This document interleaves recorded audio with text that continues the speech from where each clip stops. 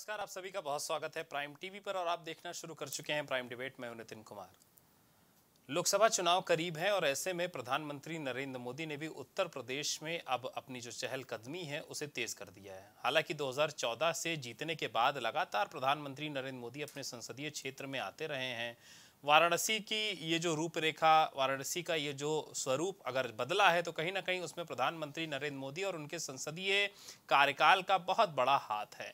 लगातार प्रधानमंत्री नरेंद्र मोदी की तरफ़ से 2014 से लेकर के 19 और 19 से लेकर के अभी तक ये प्रयास हैं कि उत्तर प्रदेश की काशी को और बेहतर कैसे किया जा सकता है, कैसे सजाया जा सकता है और उसी में कई सारे जो प्रमुख कदम हैं, वो उठाए भी गए हैं, जिसकी वजह से काशी काशी आज इतनी भव्य, इतनी सुंदर हो चुकी है। हालाँकि भव्यता तो काशी की बहुत पहले से रही है, लेकिन उस भव्यता में कहीं ना कहीं चार चाँद लगाने का काम उत्तर प्रदेश की सरकार के साथ साथ देश के प्रधानमंत्री का भी रहा है, क्योंकि देश के प्रधानमंत्री इसी जगह से सांसद हैं।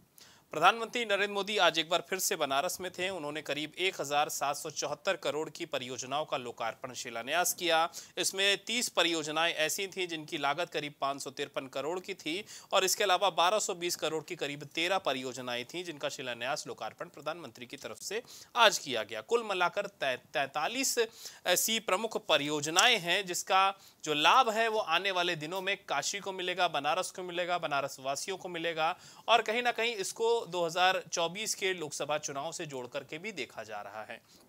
बताया जा रहा है कि जब से प्रधानमंत्री नरेंद्र मोदी इस सीट से सांसद चुनकर आए हैं 2014 से, तब से लगातार उनका जो मोह है वो काशी से जुड़ा रहा है। वो लगातार काशी काशी विश्वनाथ, भैरव बाबा के दर्शन करने के लिए, काशी आते रहे हैं, माँ गंगा के दर्शन करने के लिए काशी आते रहे हैं और काशी को कैसे सजाया जा सकता है, इसको लेकर के भी लगातार उनकी तरफ़ से प्रयास रहा है। काशी विश्वनाथ मंदिर का विस्तरीकरण या फिर सौंदर्यीकरण की अगर बात करी जाए तो इसको लेकर के प्रधानमंत्री नरेंद्र मोदी ने 2014 में ही कह दिया था, जब वो पहली बार सांसदी लड़ने आए थे। और इसको और बेहतर करने के लिए कैसे इस पर काम किया जा सके, जब वो सांसद बन गए, उसके बाद से करीब नौ अलग अलग तरहों की कैबिनेट की बैठक भी हुई। और इस बैठक में ये सारी रूपरेखाओं को कैसे बेहतर किया जा सकता है, उसको लेकर के चर्चा और प्रस्ताव पास किए गए। दो हज़ार चौदह से लगातार प्रधानमंत्री नरेंद्र मोदी बाबा विश्वनाथ के दर्शन करने के लिए आते रहे हैं। काशी विश्वनाथ साथ वो जब जब आए हैं, तब तब कहीं ना कहीं इस बनारस को और भव्य करने की कोशिश रही है। सजावट पहले से शुरू हो जाती है और जब प्रधानमंत्री नरेंद्र मोदी आते हैं तो उस उस सजावट में जो लोकार्पण और शिलान्यास और जो तोहफों की सौगात है, वो उस सजावट को और भव्य कर देते हैं।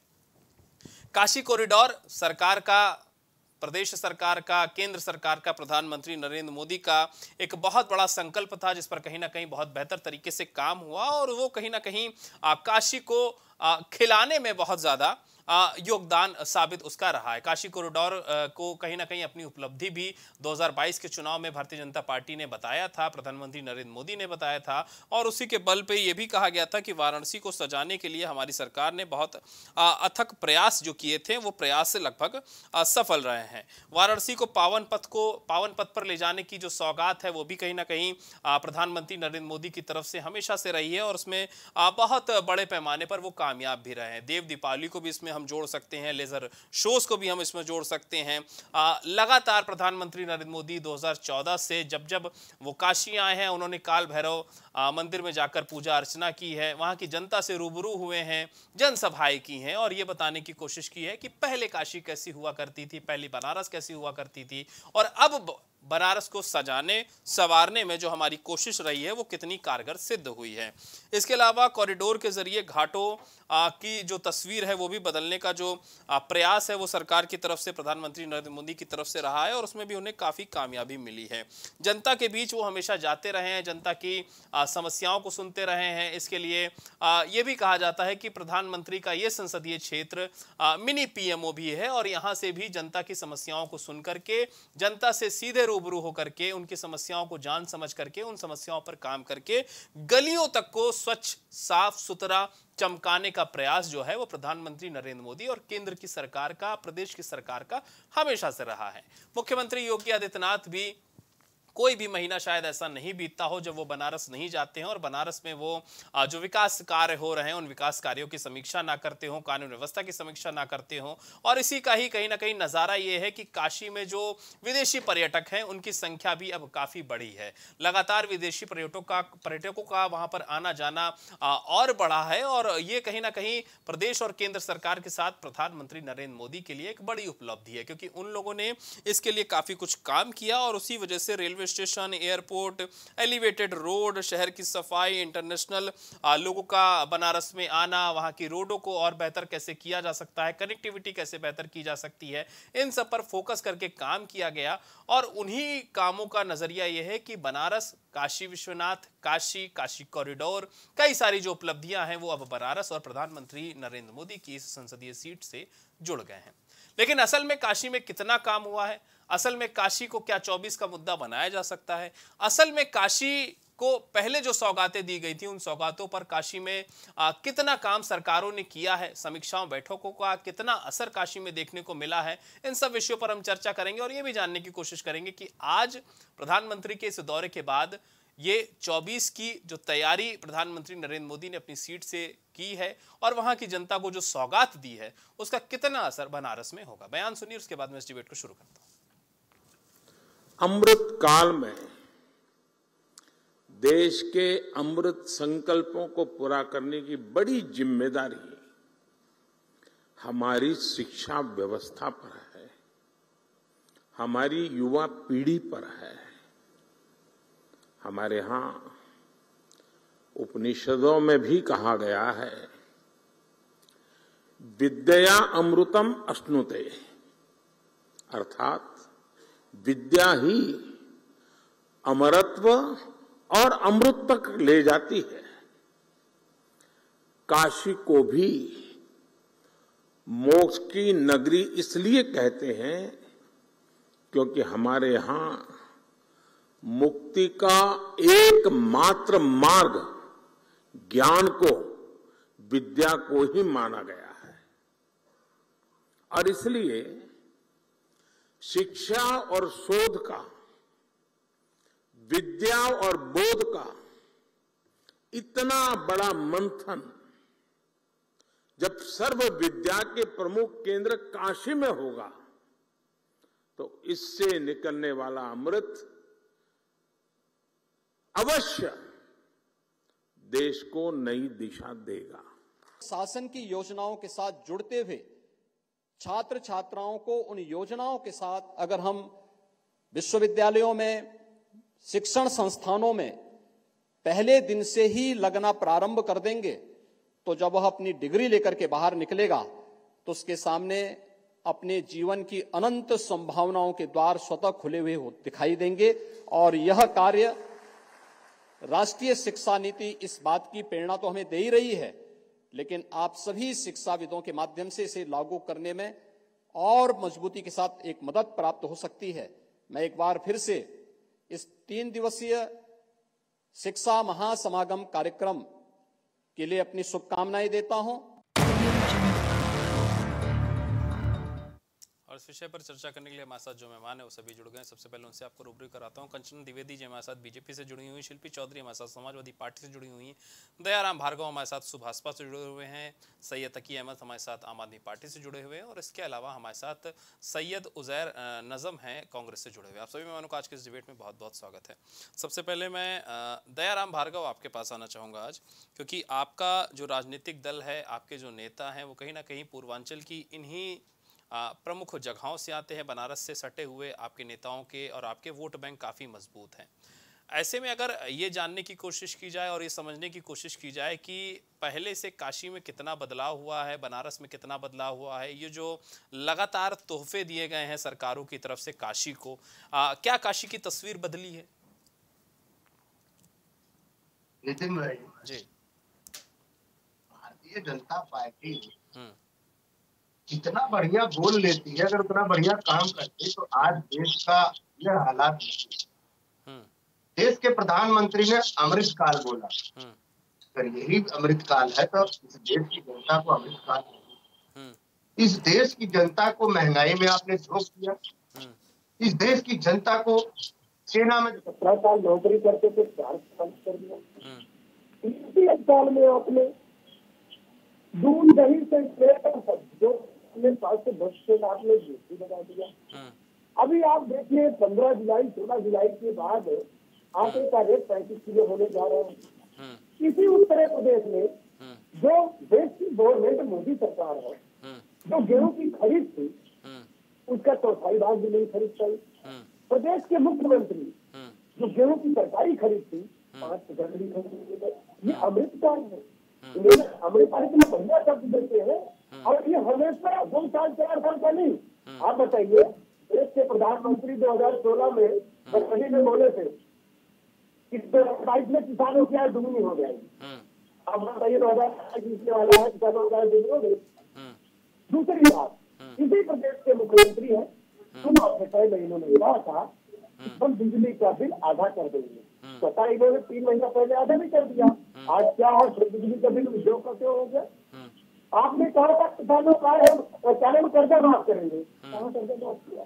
आपने कहा था किसानों का बयान पंद्रह दिन में माफ़ करेंगे कर साल साल और साल में तो यूरिया डाली था पचास किलो का तो पैंतालीस पैंतालीस किलो की बोरी हो गई। जो तीन सौ चार सौ का वो दो सौ रुपए का हो गया।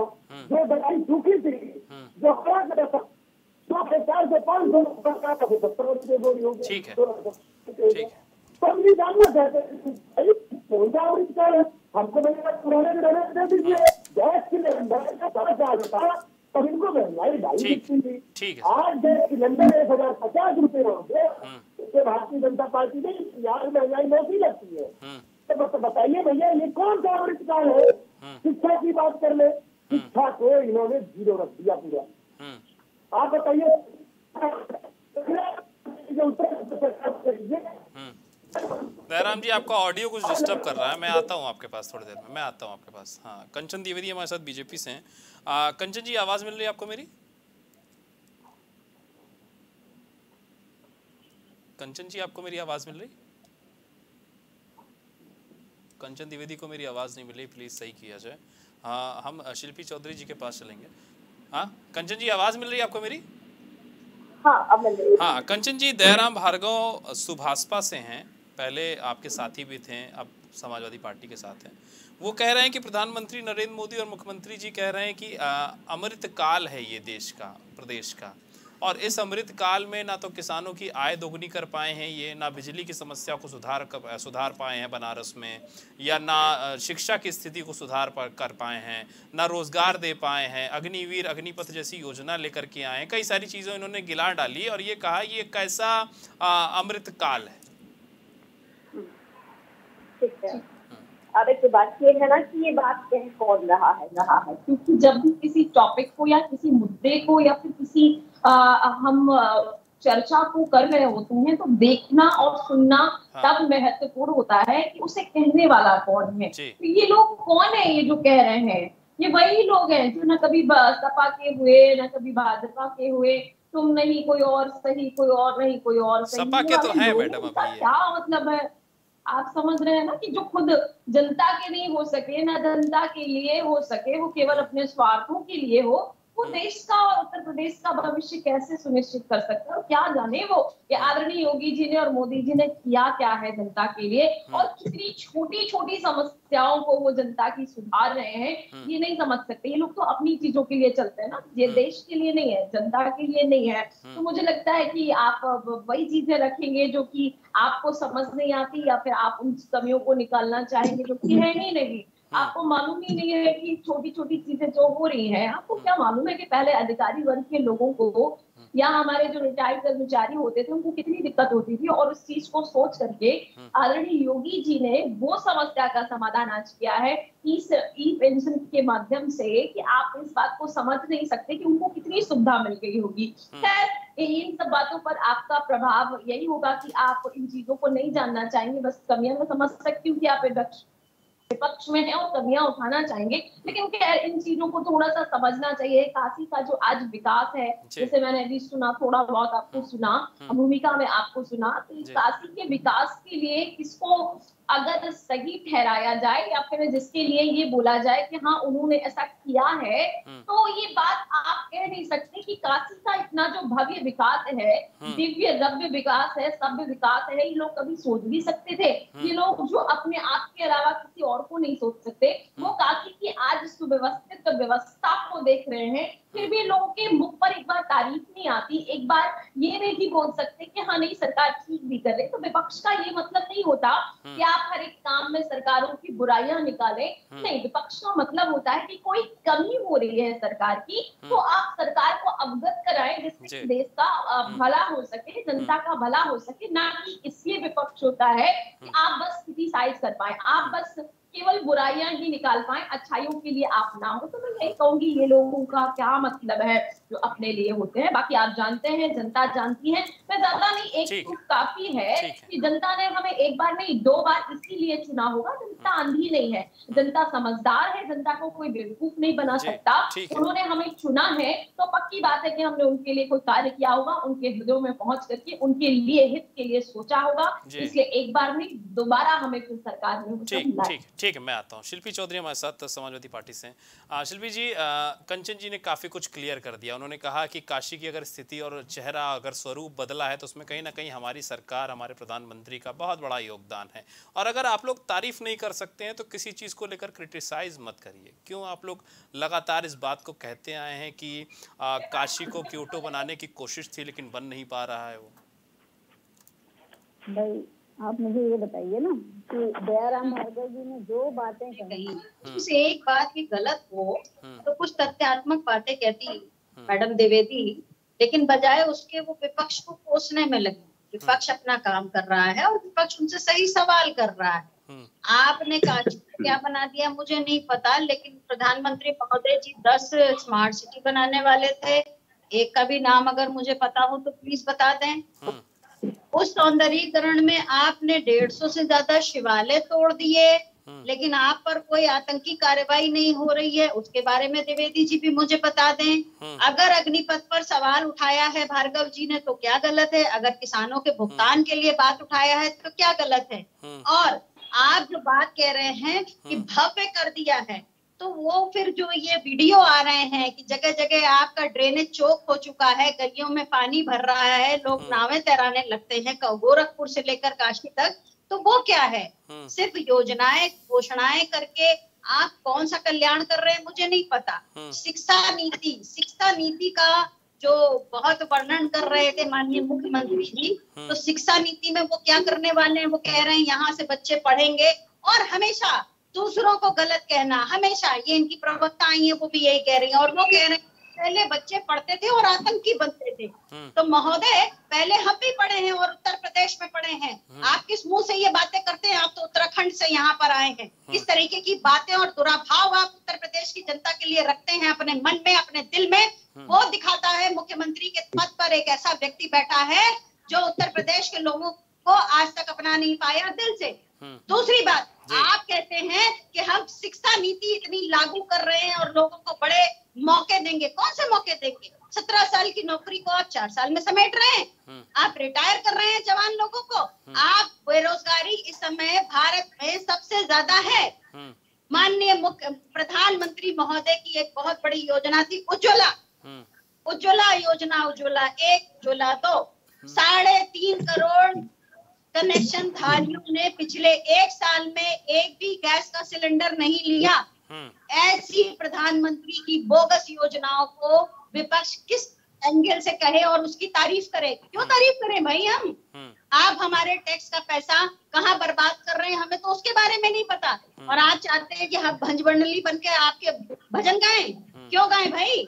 जिस मुद्दों पर आप आए हैं उन मुद्दों पे आपने कहा हम हर साल दो करोड़ रोज़गार देंगे। हम्म। इसी वजह से आज भारत में सबसे ज़्यादा बेरोजगारी है। हम्म, तो प्रधानमंत्री चुनाव है Bharatiya Janata party twenty four into seven चुनाव में रहती है। हम्म, एक ही काम है चुनाव और चुनाव से ठीक पहले पाँच पाँच सौ रुपए अधे साड़ियाँ चांदी की पायलें बांट करके जो लोग सत्ता में बार बार आते हैं वो काम की बात ना करें। जी, तो ये ना। कहें कि हम अपने काम के दम पे आते ठीक, हैं। शिल्पी जी, इन्वेस्टर समिट में हज़ारों करोड़ रुपए के जो एमओयू साइन हुए हैं हाँ। तो पहली इन्वेस्टर समिट के आज तक जवाब ये नहीं दे पाए।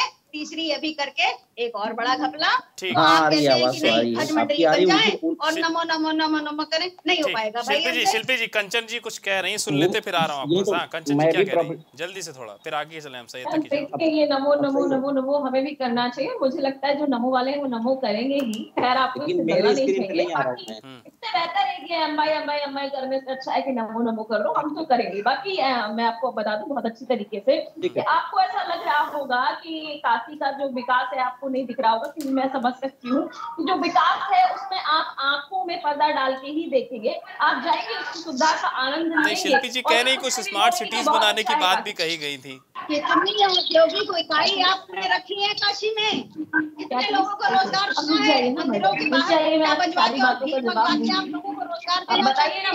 प्लीज़ वन बाय क्या वन प्लीज़ वन क्या one one by one please औद्योगिक ठीक है। ठीक है ठीक है भारतीय जनता पार्टी प्रवक्ता जवाब हाँ स्कंचन जी बताइए क्या कह रही थी आप? जी जो इतना ज़्यादा मैडम बोल रही है ना अगर अखिलेश जी गंदगी फैला के नहीं रखी होती ना तो भाजपा को इतना साफ़ करने में वक्त नहीं लगता? क्यों नहीं बनवाया पहले से कितना वक्त लग रहा है सब कुछ करवाने में? क्यों गंदी नालियाँ डाले रहे कभी नहीं सोचा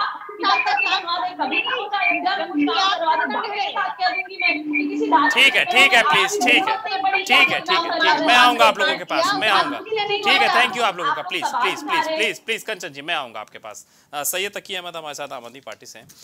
तकी भाई आ, 2014 में अरविंद केजरीवाल प्रधानमंत्री नरेंद्र मोदी के सामने चुनाव लड़े थे लोकसभा का। हालाँकि जीत आप लोगों को नहीं मिली लेकिन उसके बाद से क्या आप लोगों को लगता है कि काशी की तस्वीर काफ़ी कुछ बदली है?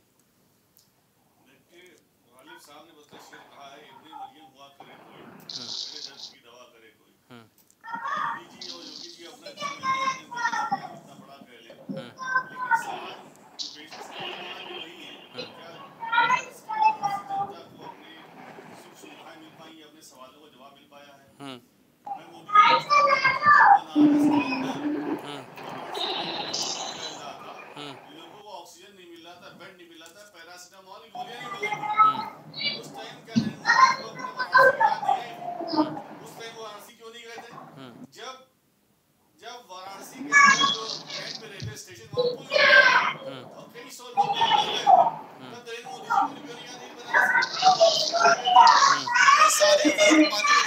बारिश होने वाली है आपको वहाँ पानी पानी दिखाई देगा।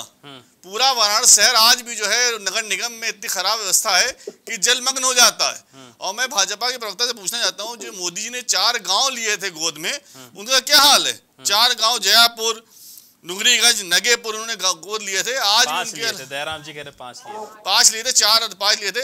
आज भी उन गाँव की हालत क्या है? आ रहा हूँ सुन लीजिए फिर आऊँगा आपके पास प्लीज़ क्या उन गाँव के अंदर डिग्री कॉलेज खुल गए हैं? क्या उन, उन उनके अंदर इंटर कॉलेज खुल गए हैं? क्या वहाँ की सड़कें सही हो गई हैं? आज भी वहाँ कैंट्स के रेलवे स्टेशन से वहाँ जाने के लिए प्रॉपर ऑटो नहीं मिलता। सवारी नहीं मिलती। और आज क्या है? मैं आ रहा हूँ कंचन जी आ रहा हूँ पहले सुन लीजिए मैं सुविधा आ नहीं रहा हूँ, मिलती तो आज भी आप मेरे साथ आइए मैं लखनऊ शहर के बड़े बड़े हॉस्पिटल में ले चलता हूँ आपको दिल्ली में ले चलता हूँ। आज भी बनारस के वाराणसी के उस क्षेत्र के जौनपुर के लोग दिल्ली के बड़े अस्पतालों में इलाज करवा रहे हैं लखनऊ के इलाजों के जेएमयू में इलाज करा रहे हैं लारी सेंटर में इलाज करा रहे हैं जीपीजीआई में इलाज करा रहे हैं। आज भी उनको बनारस बीएचयू में इलाज सही नहीं मिल रहा है ट्रामा सेंटर का उद्घाटन किया गया था। उसके बाद भी लखनऊ के ट्रामा सेंटर पे लोड नहीं है। जितना पहले हुआ करता था अभी भी लोग वहाँ से आ रहे हैं रात भर सफ़र करते हैं उसके बाद वाराणसी से लखनऊ आते हैं दिल्ली जाते हैं हैं। इलाज करते हैं उनको वो इलाज ना गोरखपुर में मिल पा रहा है ना उनको इलाज वाराणसी में मिल पा रहा है। तो सारे वादे इनके जो है ये सब ढपोल गोरखपुर हैं शोर भैया आपको क्यों नहीं दिख रहा है? आप अरे मैम एम्स तो दिख रहा है इलाज नहीं हो रहा है आज भी गोरखपुर के लोग बहुत लखनऊ में इलाज कराने आ रहे हैं। आज भी दिल्ली कराने जा रहे हैं, लोगों की गवाही आप बना देती हैं, लेकिन होता कुछ नहीं ज़मीन के ऊपर। बना तो आपने तरह क्योटो भी दिया, आपको दिख रहा है क्योटो। आपने ऊपर बनारस फिर को क्योटो बना दिया, लॉस एंजलिस बना दिया। आपने सब बना दिया, आपको दिख रहा। हॉस्पिटल की हालत है मैं जानती हूँ मैं वहाँ होकर के आई हूँ आप सरासर झूठ बोल रहे हैं आप लोग बना बना के फेंकते हैं हम लोग देखते हैं और कहानी क्या बचा लोग आप आप आप मोदी जी आपके पास बोलने के लिए कुछ नहीं है इतना भी साफ़ झूठ मत बोलिए आपको चैलेंज देता हूँ मेरे साथ आइए हम लोग लारी चलेंगे आपके साथ चलेंगे कितने पेशेंट हमारे बनारस के के पास इलाज रहे हैं कर रहा लिए मैं बीजेपी के प्रवक्ता को चैलेंज करता हूँ। आप मेरे साथ आइए ट्रामा सेंटर चलिए मेरे साथ। लारी काटोली चलिए मेरे साथ चलिए।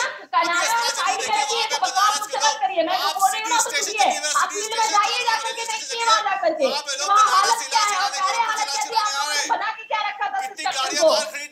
बनारस गोरखपुर से गोरखपुर से आई इलाज कराने के लिए। आप चलिए मेरे साथ आप मत आपके अंदर?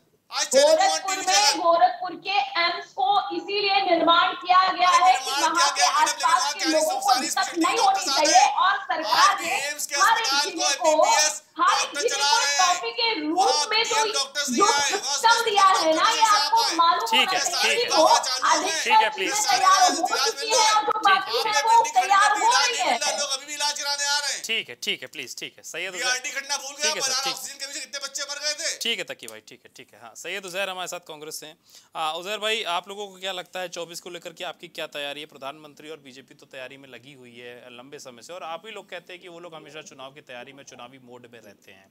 आज प्रधानमंत्री नरेंद्र मोदी बनारस गए थे सत्रह सौ से ज़्यादा सत्रह सौ करोड़ से ज़्यादा की परियोजनाओं का लोकार्पण शिलान्यास हुआ है। चौबीस की तैयारी हो गई क्या मेरी मेरी बात समझिए कांग्रेस पार्टी हमेशा जनता के मुद्दों को लेकर सड़क पे रहती है।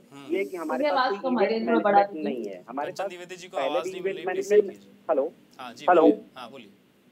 हमारे पास पहले भी इवेंट मैनेजमेंट नहीं था जब हम सत्ता में हुआ करते थे। और आज सत्ता में नहीं तब भी हम इवेंट मैनेजमेंट नहीं करते। आपको छोटा सा उदाहरण अगर दो मिनट समय देंगे तो मैं आपको बता दूँ। तो इवेंट मैनेजमेंट कैसे हो गया? ये नहीं समझ आया कुछ। हाँ तो सारी चीज़ें मैंने आप देखिए ना इवेंट मैनेजमेंट सब कुछ तो इवेंट मैनेजमेंट होता ही है। देखिए मैं वाराणसी के विकास में एलि- एलिवेटेड सड़कों के बारे में बात नहीं करूँगा हाँ। क्योंकि ये एक विकास एक सतत चलने वाली प्रक्रिया है आबादी बढ़ रही है लोगों के पास चीज़ें हो रही है तो सड़कें तो चौड़ी होंगी लेकिन जो बनारस की मेन समस्या है बारिश के दिनों में आप बनारस में जाइए मैं तो वहीं का पैदा हूँ बनारस में ही रहा हूँ बचपन मेरा गुजरा है लेकिन कैसे ही आज भी वही उन चीज़ों की स्थिति आज भी वही आठ सालों में मैं उसके बारे में नहीं बात करूँ मैं करूँगा युवाओं के बारे में बात और बेरोजगारी पे बात करूँगा मैं अभी देखिए नई शिक्षा नीति की बात हो रही थी आप लोगों ने भाषण भी सुनाया नई शिक्षा नीति अभी कल मैंने एक अखबार में देखा कि नई शिक्षा नीति आने से डीयू में डीयू जो भारत की एक मतलब एक सपना होता है लोगों का वहाँ पर पढ़ाई करने का कितने लोगों की अंग्रेज़ी के शिक्षकों की नौकरी जा रही है और आप बोल रहे हैं कि हम नई नौकरी देंगे। हाउ कैन पॉसिबल सर जब जो लोग अब जॉब कर रहे हैं बारह साल, पंद्रह साल से, आपने ऐसी व्यवस्था कर दी कि जो इंग्लिश के शिक्षक हैं वो डीयू में आप पता भी कर लीजिएगा जाके, उनकी नौकरियाँ जा रही हैं। ठीक है? और भी बहुत सारे विभागों में नौकरियाँ जा रही हैं। इसकी बात हम अभी देखिए और दूसरी बात अभी बेरोजगारी मुझे बस एक बात का है? आंकड़े आए हैं सर ये गवर्नमेंट के आंकड़े हैं? कंचन जी पूछ रही है है मैं मान लेती हूँ। कंचन जी पूछ रही इसके नौकरियाँ क्यों जा जोड़ रही लीजिएगा क्यों जा रही है? आपने इसे नीति ऐसी बनाई और दूसरी बात एक मेरी बात सुन लीजिए। पूरी बात सुन लीजिए मैं आपको सुनूँगा आपको मैंने पूरा सुना भी है। मैं ये कह रहा हूँ सर देखिए आप बोलते थे कि दो करोड़ नौकरियाँ हम देंगे हर साल। ठीक है नहीं दे पाए किन कारणवश नहीं दे पाए आपकी नीतियाँ अच्छी नहीं थी आपने गलत नोटबंदी की जीएसटी की लाई आपने बोला कि मैंने इनको बंद कर दिया ये कंपनी बंद कर दी वो बंद कर दी उससे आप इलेक्शन तो जीतते रहे लेकिन लोगों का रोज़गार लगातार जाता रहा। और ये हमको भी अब ये कि लोग सरवाइव कर रहे हैं। ऐसा नहीं कि ग्रोथ हम कर रहे हैं हम ग्रोथ नहीं कर रहे हैं सर सरवाइव कर रहे हैं लोग सरवाइव कर रहे हैं आप भी इस बात को जानते हैं हम भी इस बात को जानते हैं। और दूसरी बात सर 7.8 परसेंट हमारी बेरोजगारी दर हो गई है। इस जून महीने में अभी कल आंकड़े आए हैं। ये मैं अपनी तरफ़ से नहीं कुछ कह रहा हूँ कि नहीं मैं बहुत तो नॉलेज उत्तर प्रदेश में तो 2.9 परसेंट है ऐसा बताया गया है। नहीं अब जो ज़मीन पे ज़मीन पे जो चीज़ें हैं दिख रही है ना और दूसरी चीज़ एक बात और मैं कहना चाहूँगा अभी सर जो अग्निवीर योजना आई है अग्निवीर योजना को सर मैं नहीं जज कर सकता हूँ क्योंकि मैं रन नहीं करता हूँ। इनको लगता है आप उनको रन करना आप देखना है जो अग्निवीर बनना चाहते हैं जो देश की सेवा करना चाहते हैं अपने प्राणों की आहुति देना चाहते हैं जाके देश की सीमाओं पे उनको आप देखना चाहते हैं तो गाजीपुर बलिया बनारस के ग्रामीण क्षेत्रों में इवन मऊ के ग्रामीण क्षेत्रों में आप सुबह चले जाइए चार बजे पाँच बजे और लगातार प्रयास करते हुए आपको आज से नहीं ये नहीं कि अभी नौकरी आई है तो दौड़ने लगे हैं रन कर रहे हैं तैयारी कर रहे हैं वो कंटिन्यू करते हैं बच्चे। वो बच्चे कंटिन्यू करते हैं और उनके सपनों को आप कहाँ ले जा रहे हैं आपको भी पता है हमको भी पता है। और दूसरी चीज़ सर कि ये जो कहना कि ऐसा है, वैसा है, हमने कर दिया। और जब तीस, और इवेंट मैनेजमेंट जो मैंने कहा, अभी बता रहा हूँ मैं, हमारे यहाँ एक लीडर हुआ करते थे, पूर्वांचल में कल्पनाथ राय। और आप भी जानते होंगे अगर पूर्वांचल से बिलोंग जो लोग करते हैं वो लोग जानते होंगे। वो मतलब उन्होंने बहुत विकास किया मऊ जनपद का। तो जब भी वो आते थे तो ऐसा नहीं होता था कि, कि पेपर में निकलता था बहुत सारी बड़ी सी भीड़ जुटाई जाती थी कि जनता को इस चीज़ का लोकार्पण किया जाएगा इस चीज़ का उद्घाटन किया जाएगा। ऐसा कुछ नहीं होता था। आप आइए वो 98 में डेथ किए हैं। कभी अगर मऊ से गुजरना हुआ तो आप उनका विकास देख लेंगे। तो विकास तो एक प्रक्रिया है लेकिन सबसे ज़्यादा अगर हमको सरकार से शिकायत है वो रोज़गार को लेके है कि रोज़गार जितना हमको मिलना चाहिए था सर वो नहीं मिल पा रहा है। है ठीक है। कंचन जी क्या कह रहे थी? जी मैं कहना चाहूँगी कि ठीक है मैंने कांग्रेस के प्रवक्ता को सुना। आ, मैं समझ सकती हूँ उनके दर्द को क्योंकि उनकी पार्टी सर्वाइव नहीं कर पा रही है तो उनको लग रहा है कुछ भी सर्वाइव नहीं कर रहा है। क्योंकि वो बहुत स्लो जा रहे हैं और उनकी प्रक्रियाएँ क्या है वो समझते हैं उनकी चीज़ों को। खैर मैं उस पर नहीं जाऊँगी एक एक ही कमेंट मेरे लिए काफ़ी है। आ जाते हैं, हम रोज़गार पर आ जाते हैं। आप क्यों दुखी हो रहे हैं? आप क्यों परेशान हो रहे हैं? और आप क्यों युवाओं को भटका रहे हैं? क्या आपको नहीं लगता कि अग्निपथ के लिए आपको जो बच्चे हैं, जो युवा हैं उनको प्रोत्साहन करना चाहिए? क्योंकि केवल सरकार की नहीं, ये पूरे भविष्य की है, जो भारत का भविष्य है, उसके लिए योजना है। और ये आज की नहीं, मुझे लगता है कि दस साल से योजनाबद्ध तरीके से चल रही है। और दो साल के अंदर इन चीज़ों को बहुत ही तीव्रता के साथ में करना शुरू कर दिया गया था। बहुत अधिकारी लेवल के साथ में एक बहुत आला तरीके से इन पद्धतियों के लिए ऐसा नहीं कि आज के लिए आज की तरीकों से शुरू किया जा रहा है। कोरोना के बाद जो स्थितियाँ हुई है उसमें मैं मानती हूँ कि बहुत सारा नुकसान हमारे भारत का हर तरीके से हुआ है। चाहे चाहे किसी भी पद्धति में या किसी भी विभाग में देख। लेकिन हाँ, उसके बाद अगर आ, अग्निपथ आती है तो आपको क्यों दिक्कत होती है? आप युवाओं को क्यों भटका रहे हैं? आप लोग ये नहीं कहते कि आप जाइए तैयारी करिए। आप कहते हैं नहीं अग्निपथ आपके लिए बहुत बुरा है। आप उस पर मत जाइए। आप उसके रोज़गार आपको मिल रहा है ना आप क्यों नहीं कहते कि बच्चों को जो हाई स्कूल के बाद में जो एक स्थिति होती है उसके बाद अगर आप अग्निपथ में जा रहे हो निकल करके दो से चार साल बाद आ रहे हैं तो एक बढ़िया सा बैंक बैलेंस लेकर के आ रहे हैं उसके बाद आपके पास योग्यता भी होगी आपकी ट्रेनिंग भी होगी आपके पास एक बैंक बैलेंस भी होगा। आप अगर बुद्धि लेवल से अच्छे होंगे तो आप नौकरी में जा सकते हैं बाकी जो 25 परसेंट है वो तो अग्निपथ में चला ही जाएगा। मैडम ये जो सैयद तकी कह रहे हैं बैंक बैलेंस का लालच दे रहे हैं आर्मी को और अच्छा मज़बूत कर रहे हैं। आपसे दो सवाल पूछना चाहता हूँ। ये भारत के हिसाब से बहुत ही मजबूती सेना को बहुत मजबूती मिलेगी इससे बाकी मैं जानती हूँ। और जो समझदार लोग हैं मैंने इसमें कुछ कोचिंग में जाकर के बात की है जो बच्चों से बात की है मैडम ये ये सवाल बच्चों को समझ में आ रही है सैयद तकी को सवाल पूछ रहे हैं हैं आपसे। सैयद तकी सैयद तकी आम आदमी पार्टी से कुछ सवाल पूछ रहे जी थे देखिए बैंक बैलेंस की तो आप बात न करिए आपने महँगाई इतनी बढ़ा दी है कि बैंक बैलेंस आपका खराब हो गया है। पूरे देश का सुनाई नहीं दे रहा आप ट्रांसफ़र करिएगा है? दूसरी बात मैं आपसे कहना चाहता हूँ कि आर्मी कह रही है कि वो जब चार साल पूरे हो जाएँगे तो वो 25 परसेंट सेट करेगी 75 परसेंट को रिजेक्ट कर देगी निकाल देगी रिजेक्ट कर देगी। कल को यही योजना बीएसएफ लेके आती है सीआरपीएफ लेके आती है रेलवे लेके आती है और संस्थानें लेके आती हैं। तो अगर वो अपने लोगों को रिजेक्ट कर देती है इसी तरह से इसी तर्ज के ऊपर जैसे आर्मी कर रही है तो क्या आर्मी उन रिजेक्टेड लोगों को सेट कर लेगी? क्या आर्मी उन लोगों को सीआरपीएफ से बीएसएफ से रिजेक्ट हो जाएँगे रेलवे से रिजेक्ट हो जाएँगे क्या आर्मी को सेट कर लेगी? मैं एंकर से निवेदन हाँ, करूँगी कि आप मुझे बताएँ कि वो क्या बोल रहे हैं। सैयद तकी कह रहे हैं कि जैसे आर्मी में ये स्कीम आई है उसी तरह से जो अन्य फोर्सेज हैं जिसमें सीआरपीएफ हो गया बीएसएफ हो गया अगर उनकी तरफ़ से भी इसी तरह से आ, स्कीम शुरू की जाती है और उनके जो रिजेक्टेड लोग हैं तो क्या उन रिजेक्टेड लोगों को रिजेक्ट कौन हो रहा है इसमें? नहीं नहीं ये आपका शब्द ही गलत है रिजेक्ट कौन रिजेक्ट हो रहा है? रिजेक्ट तो है ये कह रहे हैं ना कि सौ सौ लोग हैं तो उसमें से पच्चीस लोगों को सिलेक्ट किया जाएगा चार साल बाद और बाकी पचहत्तर को रिजेक्ट रिजेक्ट नहीं है वो रिजेक्ट नहीं है। उनकी योग्यता अगर उस हिसाब की नहीं है तो वो निकल करके वहाँ से ट्रेनर बाकायदे ट्रेन लगता है होकर के वहाँ से निकल रहे हैं और बैंक बैलेंस के साथ निकल रहे हैं और जा रहे हैं उस टाइम पर जा रहे हैं उस पीरियड सारी जा रहे हैं। जब आप घर में रहकर मतलब केवल पढ़ रहे हैं कर रहे होते शिक्षा शिक्षा की बात कर रही हैं आप। है, मुझे लग रहा है- एक डिग्री लेकर के ठीक है, ठीक है मैडम, ठीक है, ठीक है। शिल्पी जी कुछ कह रही हैं। कंचन मैम, मुझे लगता है डिक्शनरी मुझे पढ़नी पड़ेगी आज। उससे Thank मैं you very जानती much. हूँ कि रिजेक्टेड नहीं कह रही हैं उनको रिजेक्टेड नहीं है वो एक तर्क के हिसाब से देख लेते ठीक है ठीक है ठीक है कंचन जी प्लीज़ प्लीज़ शिल्पी ठीक है शिल्पी जी कुछ कहने सुन लीजिए फिर मैं आ रहा हूँ आपके पास हाँ शिल्पी जी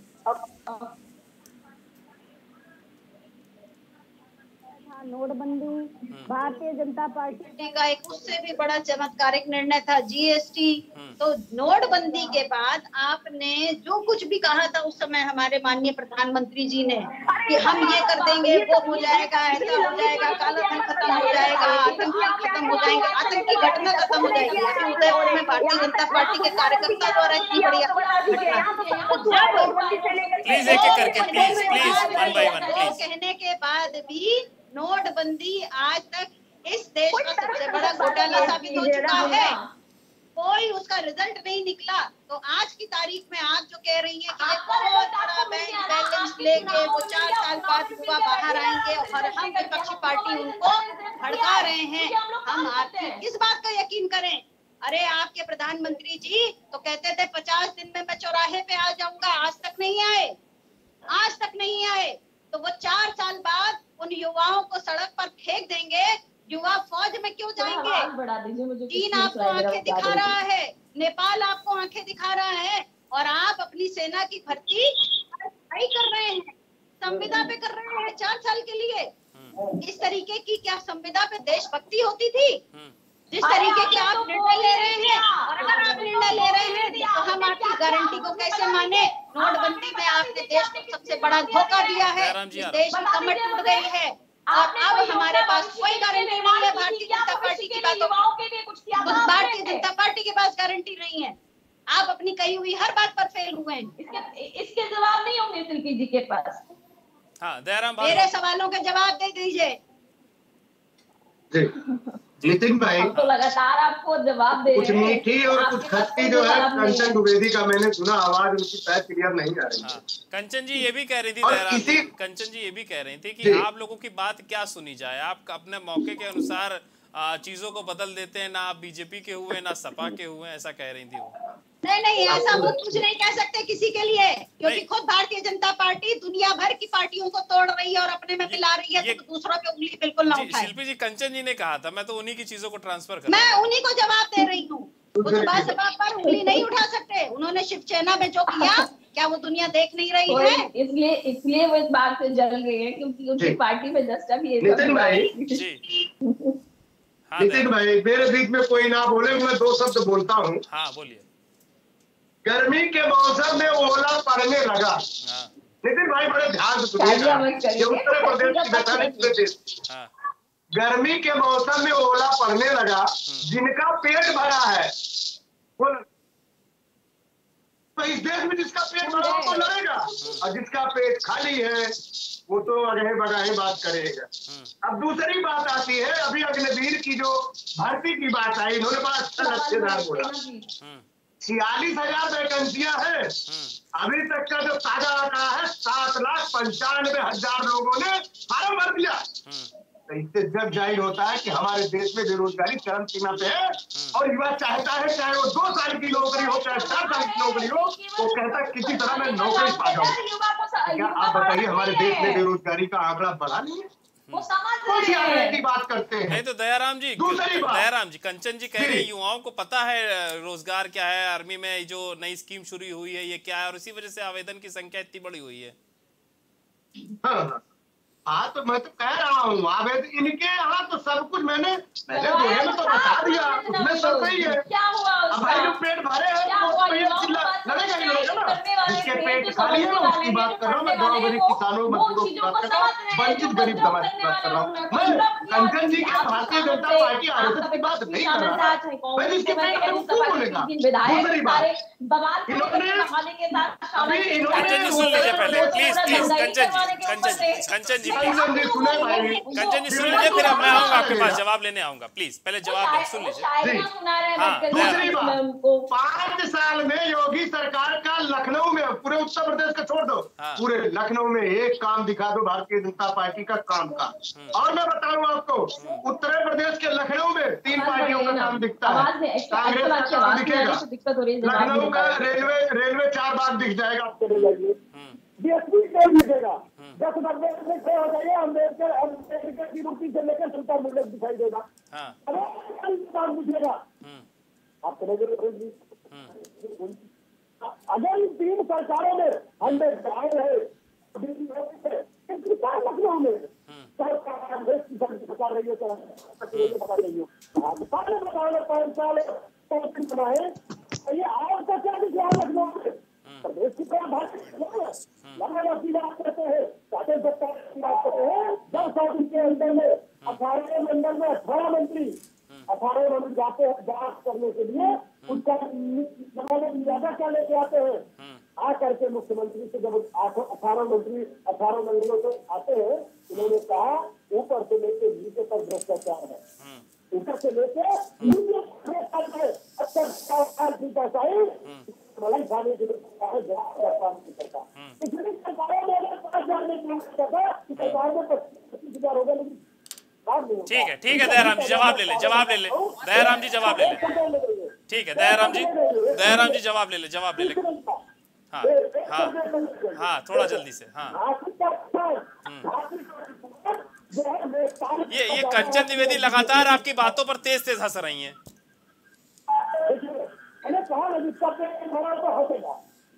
का किसान नेपाल के पास जाता है। और वो कहता हमारा काम कर दो वो कहता है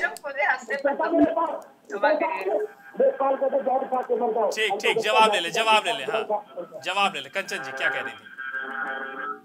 देखिए मैंने इनको सुना तो बिल्कुल नहीं है पर वो जो उनकी शैली है वो मुझे समझ में आ रही थी कि वो बहुत ही हास्यास्पद नहीं वो ये। कह वो हास्यास्पद कैसे हो सकता है वो ये कह रहा है कि पाँच सालों में उत्तर प्रदेश की सरकार ने लखनऊ में क्या कर दिया वो बता दे वो मैं मैंने बोला ना मैंने उनको सुना नहीं क्योंकि मुझे सुनाई नहीं दे रहा था कि वो क्या बोल रहे हैं हाँ। बाकी हाँ उनकी जो शैली थी मुझे समझ में आ रही थी हास्यास्पद थी इस प्रकार से रटना मार करके आए हुए हैं ऐसी कुछ चीज़ें वो सीधा सीधा बोल रहे थे खैर उन चीज़ों आप मुझे टच करके देखा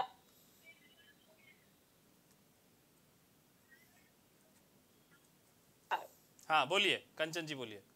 मैं कह रही हूँ कि थोड़ी सी कुछ पॉइंट मुझे उनके बता दीजिए क्योंकि मैं सुन नहीं पा रही हूँ देखिए उन्होंने उन्होंने उन्होंने- उन्होंने- उन्होंने ये कहा दयाराम जी ने कि पाँच साल में उत्तर प्रदेश की सरकार में राजधानी लखनऊ में क्या काम किया वो गिना दें। पुरानी सरकारों के काम ही वो गिनाते रहे हैं।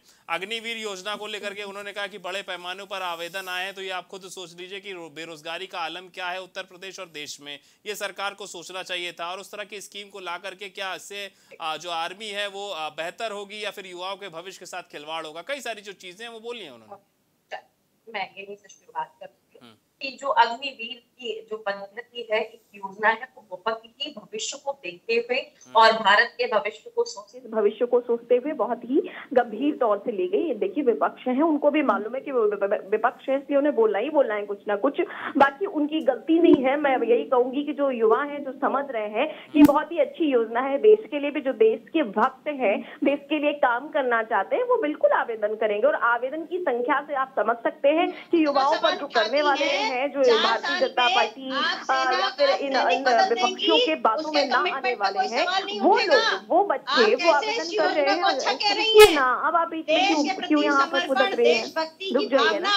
चार साल में आप ना खत्म इनको मैं पूरा जवाब दे दूँ। और कह रही है कि ये बहुत उज्जवल योजना है। अरे हाँ। क्या अरे अगर आप बोला जाए? जितनी बुराई थी आप कर योजना का मैंने क्या इम्पोर्टेंस है? थोड़ा भाई सा। क्या महत्व है थोड़ा मुझे जनता पहुँच जाने दीजिए उसकी अच्छाइयाँ भी। हाँ बोलिए क्या क्या अच्छाइयाँ हैं? बताइए क्या आपके अच्छाइयाँ हैं? नहीं होगी मैडम मैं आपको कहाँ कुछ कह रही हूँ? आपके लिए अखिलेश जी के अलावा कुछ नहीं अच्छा होगा।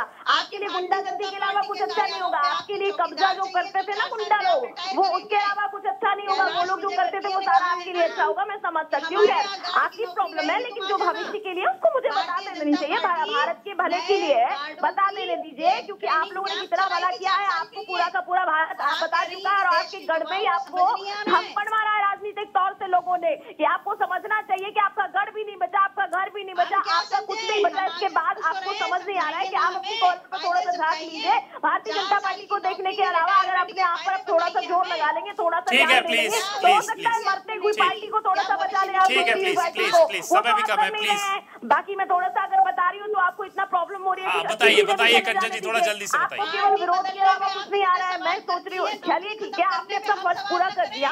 कुछ अच्छी चीज़ें भी जाने दीजिए डिबेट के माध्यम से बच्चे अगर सुन रहे होंगे तो उन तक पहुँच जाएँगी। इनको रोकिए हाँ शिल्प- जी प्लीज़ सुन लीजिए क्या कह रही है। फ़ायदे बता रही हूँ फ़ायदे सुन लीजिए। देखिए मैं ऐसे बिल्कुल बात नहीं करूँगी। फ़ायदे सुन लीजिए, शिल्पी जी। तरीके से। गंभीर बात है तो सुन लीजिए शिल्पी जी, फ़ायदे सुन लीजिए। की बात पर बिल्कुल हंसती हूँ हाँ आपके हाँ साथ। बताइए बताइए बताइए कंचन जी बताइए मैं बस यही कहूँगी और इन सारी सारी चीज़ों से जो कि तर्कपूर्ण आपने खुद ही बता दिया कि दयानंद जी ने खुद ही बताया कि बहुत सारे बच्चे इस पर आ रहे हैं। तो इससे प्रमाणित होता है कि बच्चों की बात समझ आ रही है वरना अगर बच्चों के दिमाग में आ जाए कि नहीं हमारे लिए ठीक नहीं है वो बिल्कुल भी इन चीज़ों पर आ नहीं सकते और ये हम सब जानते हैं भारत के जो लोग हैं वो जानते हैं कि इस, पद्धति के और इस योजना के हिसाब से हमारे भारत को सेना को बहुत लाभ होगा और हमारे जो युवा हैं जो हाई स्कूल के बाद बहुत कुछ नहीं करते वो केवल हाई स्कूल के बाद या तो घर में रहते हैं या फिर अपने एंट्री की तैयारी करते हैं तो वहाँ जाकर के जो एक प्लस पॉइंट मिल रहा है कि आपको वहाँ जाकर के आपकी पढ़ाई भी करने को मौका मिल रहा है आप ट्रेंड भी हो रहे हैं आप फालतू का यहाँ पर क्योंकि मुझे लगता है जो युवा होता है वो उस टाइम में भटकने का उसका एक उम्र होती है तो वहाँ पर आप वर्कमैन लगे होंगे और आप ट्रेंड हो रहे होंगे इसके बाद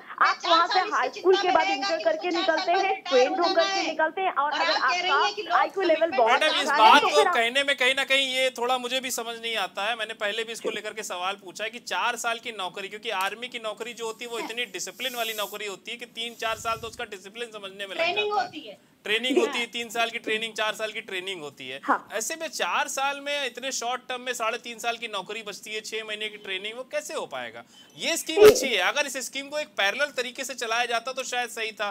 परमानेंट स्कीम एक दूसरी तरफ़ चलती और ये चार साल वाली स्कीम एक तीसरी दूसरी तरफ़ चलती। तो शायद तो इसके बाद देखिए ना सरकारों ने बोला है हर एक तरीके से आपने यूपी की सरकार ने तो तुरंत ही बोल दिया कि नहीं इसके बाद आप कहीं रिटायर नहीं हो रहे हैं आप कहीं जाने नहीं रहे आपके लिए भविष्य पूरा फिर इसके बाद खुलता है। आप आप जब यहाँ से लौट करके भी आ रहे हैं तो आपके पास एक अच्छा सा बैंक बैलेंस होगा या तो आप तैयारी करिए या फिर आपको कहीं और जाना है तो आपके लिए रास्ते एकदम से खुले और ट्रेन होकर के आप आ रहे हैं तो मुझे नहीं लगता बहुत वक्त लगेगा और उसके लिए भी आपको एक एक जो सुविधा है एक जो छूटें वो मिल रही है हर सरकारों से उत्तर प्रदेश में तो मिल ही है। रही है आप किसी भी क्षेत्र में जाइए है। अग्निवीरों के लिए अलग से एक है, सुविधा होगी वो ठीक दिखने है, वाली चीज़ें हैं ठीक है। ठीक है है है समय कम है समय कम है प्लीज़ हाँ दयाराम जी सेवा करेंगे ठीक है शिल्पी जी प्लीज़ हाँ दयाराम जी जल्दी से बात पूरी कीजिए फिर सैयद तकी साहब के पास आऊँगा। हाँ।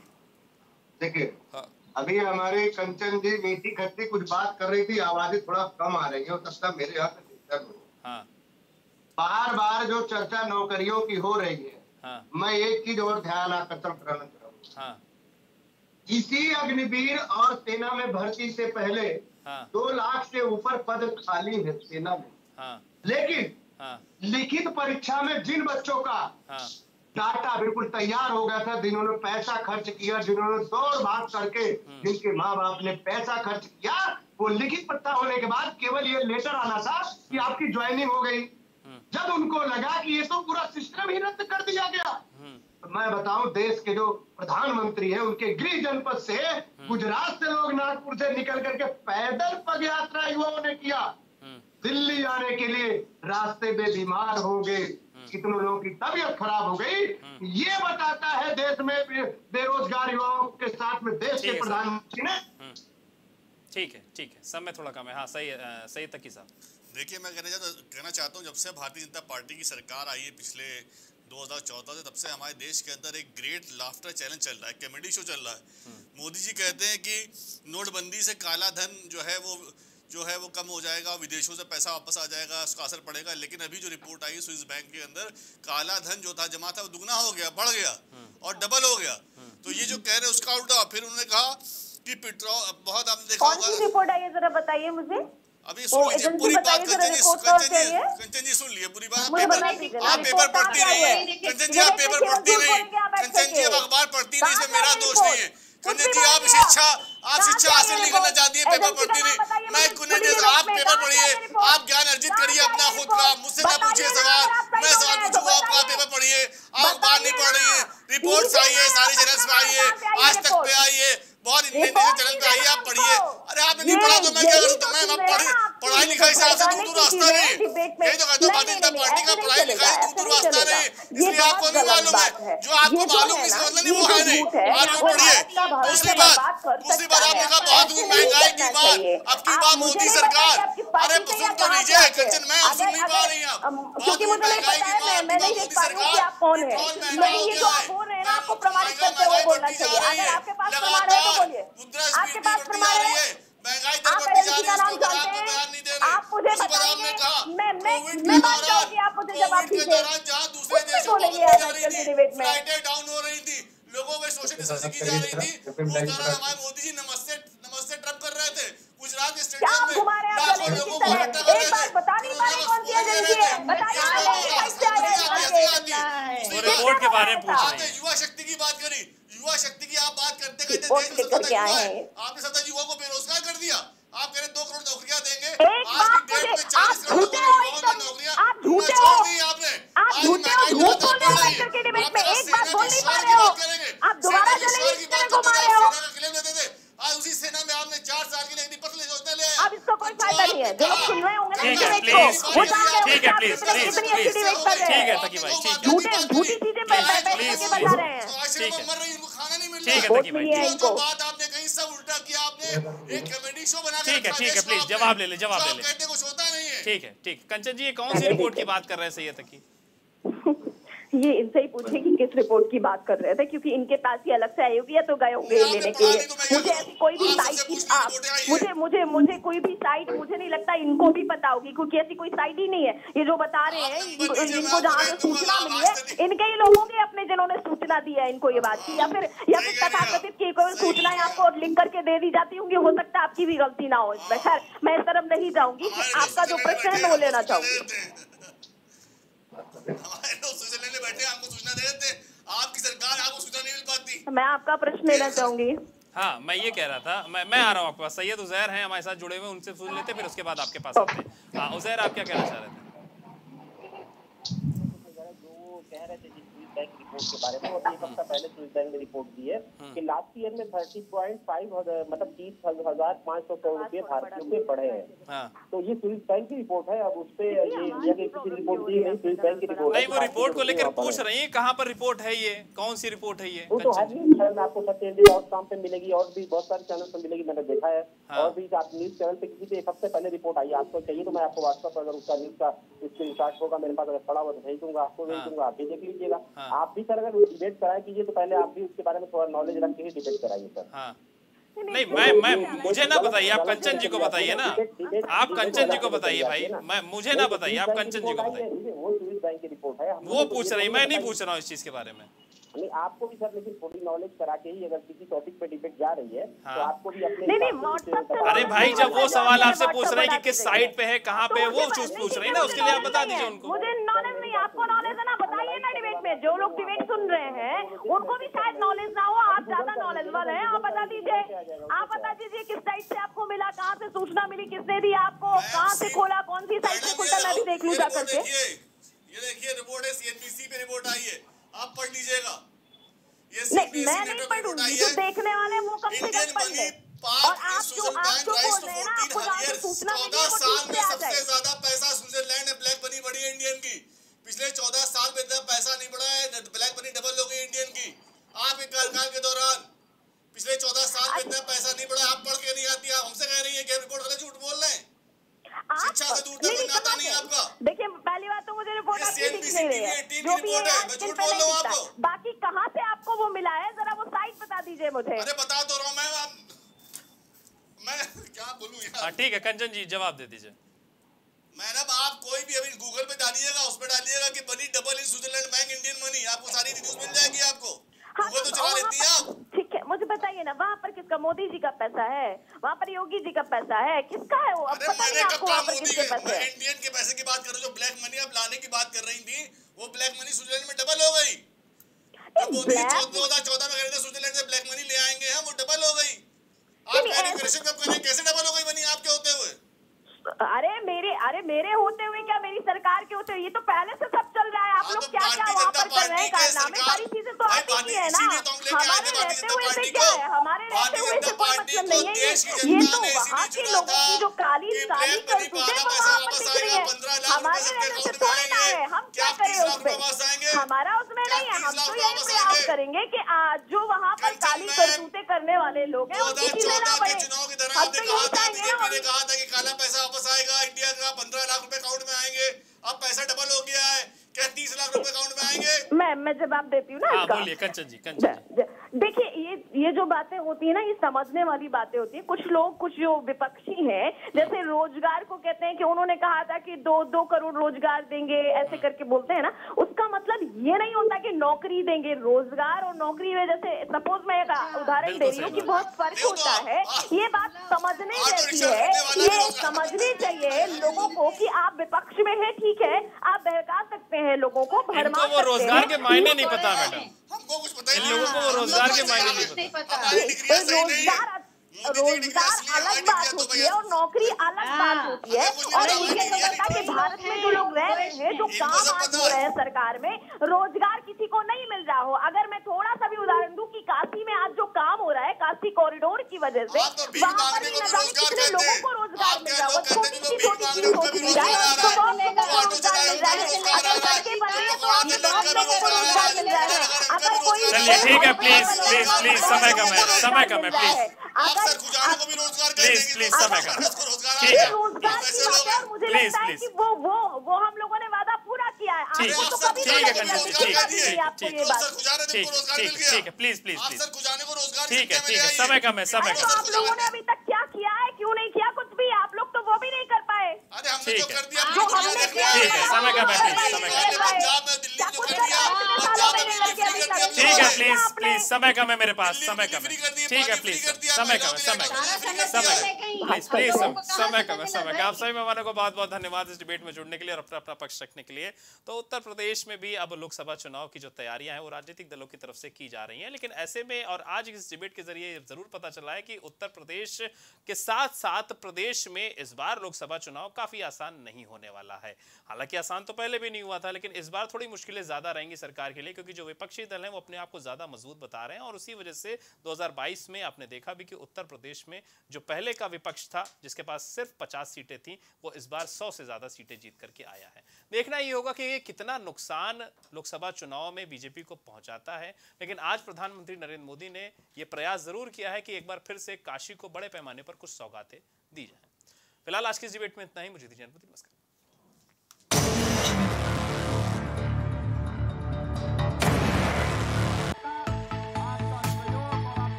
कुछ भाव पुष्प। आप देख रहे हैं प्राइम टीवी सच साहस सरोकार।